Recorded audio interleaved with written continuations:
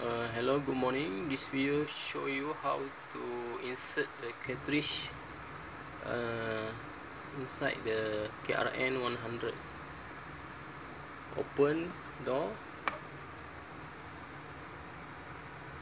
Okay this one is a uh, cartridge.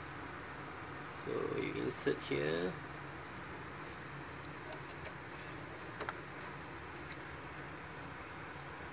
Okay that's all.